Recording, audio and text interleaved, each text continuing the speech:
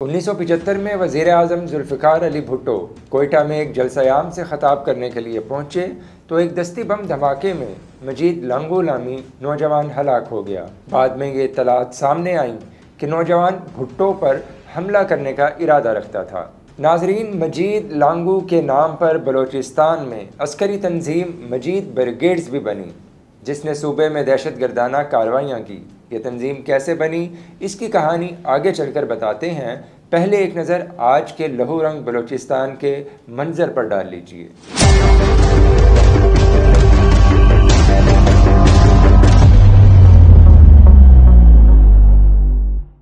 بلوچستان میں نواب اکبر خان بکتی کی برسی کے موقع پر رات گئے متعدد مقامات پر بی ایل اے کے دہشت گردوں نے مسلح کاروائیاں کی جن میں موسا خیل مستوم بولان اور قلات کے مقامات شامل ہیں۔ اور ان حملوں کی ذمہ داری کلعدم بی ایل اے نے قبول کر لی ہے۔ بلوچستان کے ضلع موسا خیل میں مسلح افراد نے دو درجن سے زائد کوئلے سے لدے ٹرکوں اور دیگر گاڑیوں کو نظر آتش کیا۔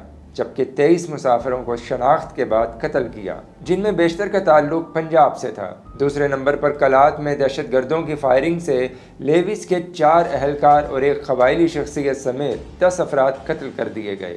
تیسرے نمبر پر بولان میں چھ افراد کی لاشیں برآمد ہوئیں، جن کو دہشت گردوں نے فائرنگ کر کے قتل کر دیا تھا۔ ضلع بولان میں دہشت گردوں نے ایک پل کو بھی تباہ کیا، جس کی وجہ سے کوئٹہ جانے والی تمام ریل سروس معطل ہیں۔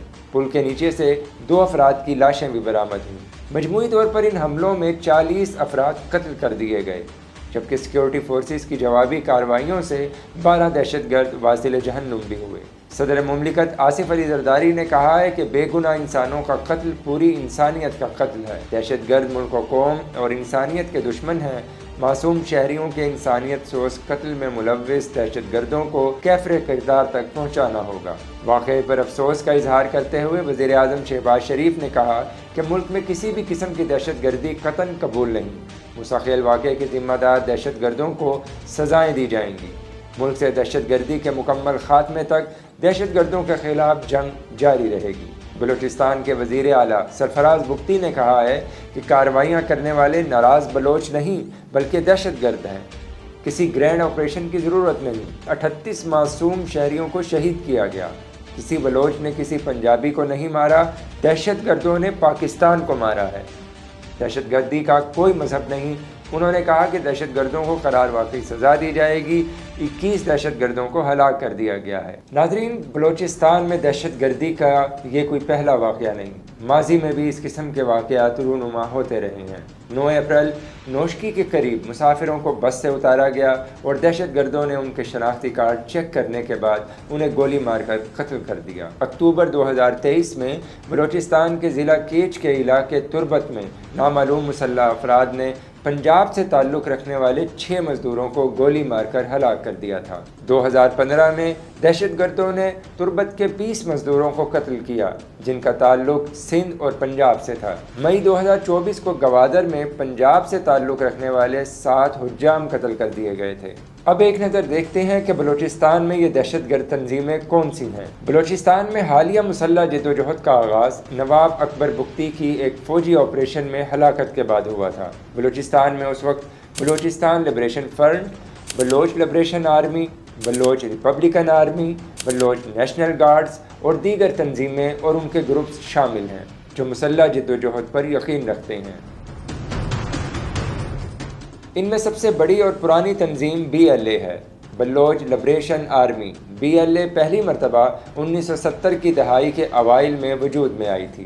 جب سابق وزیر اعظم ذوالفقار علی بھٹو کے پہلے دور حکومت میں بلوچستان میں ریاست پاکستان کے خلاف مسلح بغاوت شروع کی گئی تھی۔ سابق صدر ضیاء الحق کی جانب سے بلوچستان کے ناراض رہنماؤں کے ساتھ مذاکرات کے بعد بی ایل اے پس منظر میں چلی گئی۔ پھر سابق صدر پرویز مشرف کے دور میں بلوچستان ہائی کورٹ کے جج جسٹس نواز مری کے قتل کے الزام میں قوم پرست رہنما نواب خیر بخش مری کی گرفتاری کے بعد دو ہزار سے بلوچستان کے مختلف علاقوں میں سرکاری تنصیبات اور سیکیورٹی فورسز پر حملوں کا سلسلہ شروع ہوا۔ وقت گزرنے کے ساتھ ساتھ ان حملوں میں نہ صرف اضافہ ہوا بلکہ ان کا دائرہ بلوچستان کے مختلف علاقوں میں پھیل گیا۔ ان حملوں میں زیادہ تر کی ذمہ داری بی ایل اے کی جانب سے ہی قبول کی جاتی رہی۔ دو ہزار چھ میں حکومت پاکستان نے بلوچ لبریشن آرمی کو کلدم تنظیموں کی فہرست میں شامل کر لیا۔ نومبر دو ہزار سترہ میں بلوچ لبریشن آرمی براس نامی بلوچ شدت پسند تنظیموں کے ایک اتحاد کا حصہ بنی۔ اس اتحاد میں بی ایل اے کے علاوہ بلوچستان لبریشن فرنٹ اور بلوچستان ریپبلکن گارڈز نامی تنظیمیں بھی شامل ہیں۔ اور اس کی کارروائیوں کا مرکز زیادہ تر چین، پاکستان، اقتصادی راہداری کے آس پاس کے علاقے ہیں۔ یہ وہی کہانی ہے جس کا ذکر آغاز میں کیا۔ انیس سو پچہتر میں وزیر اعظم ذوالفقار علی بھٹو کوئٹہ میں ایک جلسہ عام سے خطاب کرنے پہنچے تو ایک دستی بم دھماکے میں مجید لانگو نامی نوجوان ہلاک ہو گیا۔ بعد میں یہ اطلاعات سامنے آئیں کہ نوجوان بھٹو پر حملہ کرنے کا ارادہ رکھتا تھا۔ مجید لانگو کا تعلق منگوچر کے علاقے سے تھا۔ اور وہ طالب علمی سے بلوچ اسٹوڈنٹس آرگنائزیشن یعنی بی ایس او سے وابستہ تھا۔ مجید لانگو کی ہلاکت کے بعد اس کے چھوٹے بھائی کی ولادت ہوئی، جس کا نام مجید رکھا گیا۔ جس نے بعد میں کلدم بلوچ لبریشن آرمی میں شمولیت اختیار کی۔ اور دو ہزار گیارہ میں کوئٹہ کے قریب قانون نافذ کرنے والے اداروں سے ایک مقابلے میں مارا گیا۔ بی بی سی کے مطابق بی ایل اے کا کہنا ہے کہ اس کی ہلاکت والے دن اس گروپ کی تشکیل کا اعلان ہوا۔ اور استاد اسلم نے اس کا نام دونوں بھائیوں کی بہادری کے پیش نظر مجید برگیڈ رکھا۔ جون میں وزیر داخلہ بلوچستان میر ضیاء اللہ لانگو نے پریس کانفرنس کرتے ہوئے بتایا کہ دہشت گردی کا ایک اہم نیٹ ورک پکڑا گیا ہے، جس میں کلدم تنظیم کے دو اہم کمانڈرز کو گرفتار کیا گیا ہے، جس میں کمانڈر نصر اللہ عرف مولوی منصور اور کمانڈر ادریس عرف ارشاد شامل ہیں۔ پریس کانفرنس سے قبل گرفتار دہشت گرد کا ویڈیو بیان چلایا گیا، جس میں اس نے بتایا کہ جنوری دو ہزار چوبیس میں ٹی ٹی پی کے امیر مفتی نور علی محسود اور وزیر دفاع مفتی مزاحم نے مجھے قندھار، افغانستان بلایا اور مجھے بتایا کہ ایک خاص مقصد کے لیے پاکستان کے صوبہ بلوچستان جانا ہے۔ دہشت گرد نے بتایا کہ اس میں ہمیں اسپین بولدک سے ہوتے ہوئے بی ایل اے کی رہنمائی اور مدد سے بلوچستان کے جنوب سے بارڈر کراس کرنا تھا۔ اس سارے کام کے پیچھے بھارتی خفیہ ایجنسی را کا ہاتھ تھا، جو چاہتی تھی کہ بی ایل اے اور ٹی ٹی پی کا الحاق کرایا جائے اور ٹی ٹی پی کے لیے بلوچستان کے علاقے خوزدار میں مراکز قائم کیے جائیں۔ اس اعتراف سے بی ایل اے، را اور ٹی ٹی پی کا گٹھ جوڑ ثابت ہوتا ہے۔